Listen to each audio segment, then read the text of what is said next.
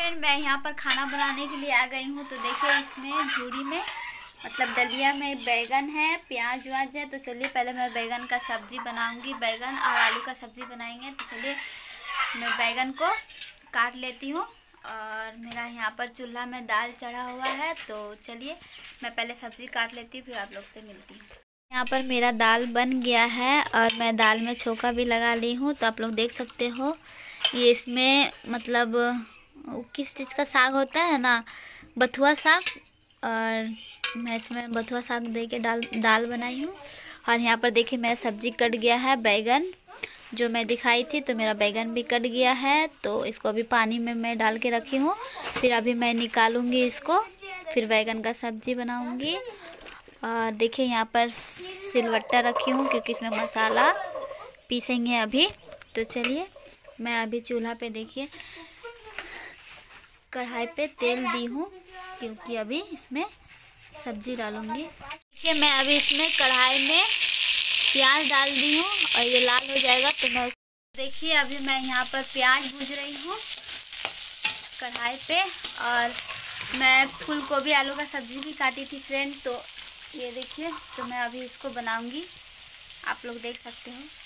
तो पहले मैं फूल गोभी आलू का सब्ज़ी बनाऊँगी, उसके बाद यहाँ पर जो बैगन रखा हुआ है तब मैं इसको बनाऊँगी। तो चलिए मैं पहले यहाँ पर प्याज को फ्राई कर लेती हूँ। एक मिनट रुके मैं आप लोगों को दिखाती हूँ प्याज। तो देखिए, यहाँ पर मेरा प्याज लाल हो गया है। हल्का हल्का। तो चलिए, मैं इसमें फूलगोभी का जो मैं काट के रखी थी, फूलगोभी है और आलू है। तो मैं अभी इसमें फूलगोभी डाल दे रही हूँ।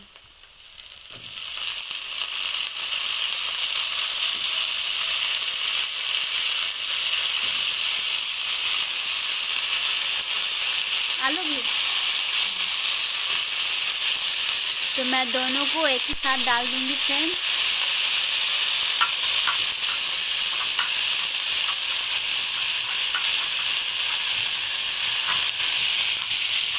तो देखिए, मैं सारा डाल दी हूँ इसमें और देखिए, यहाँ पर चलिए मैं इसको अच्छी तरह से भून देती हूँ।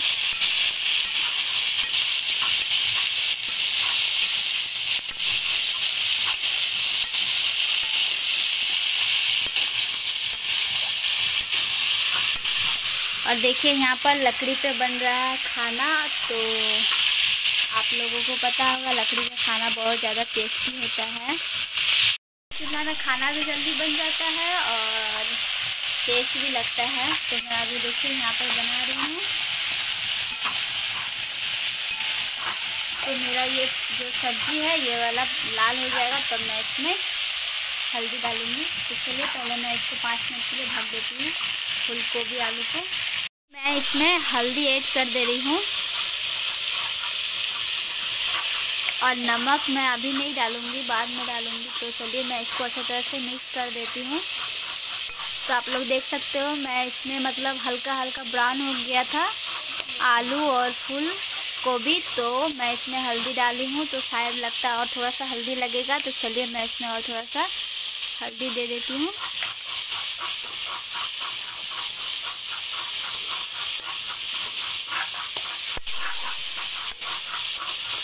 तो देखिए फ्रेंड ये हल्दी मैं मिक्स मिक्स कर दी हूँ तो इसको थोड़ा सा और पकने देती हूँ मैं।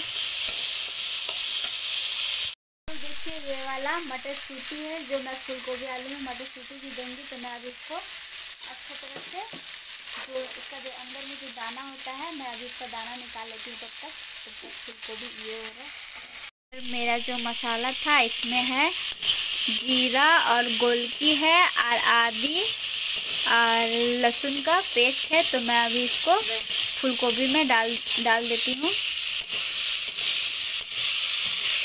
तो आप देख सकते हैं, मैं इसमें डाल दी हूँ। तो मैं इसको अच्छी तरह से मिला रही हूँ।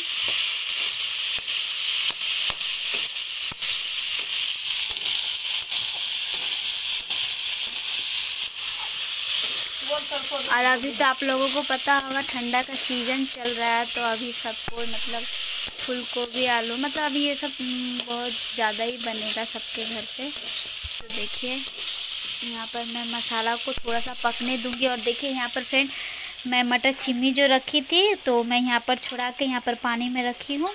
फिर मैं अभी इसमें ऐड करूँगी बट अभी थोड़ा सा मसाला पक जाएगा तब। तभी मसाला मैं पकने देती हूँ। और मटर सूटी इसमें डाल रही हूँ। और देखिए मेरा मसाला पक गया है।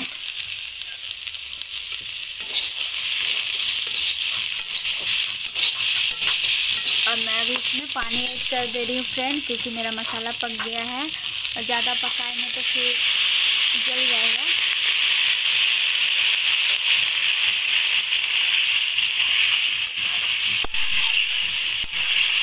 तो मैं इसमें और थोड़ा सा पानी ऐड करूँगी।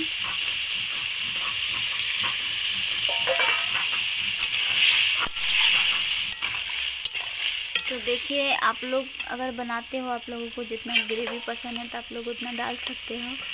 तो मैं इसमें और थोड़ा सा मतलब कि बस इतना ही रहेगा, थोड़ा सा उबल जाएगा तो फिर मैं इसको उतार दूँगी। देखिए फ्रेंड, मैं इसमें सब कुछ डाल दी हूँ। तो अब इसमें थोड़ा सा मतलब नमक मैं नहीं डाली थी तो देखिए, एक चम्मच है तो मैं इसको अभी एक चम्मच नमक कढ़ाई में डालूँगी स्वाद अनुसार। तो देखिए, मैं डाल दी हूँ।